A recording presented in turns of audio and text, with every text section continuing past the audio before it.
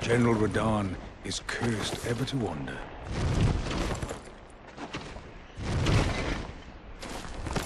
Eaten from the inside by Malenia's scarlet rot, his wits are long gone.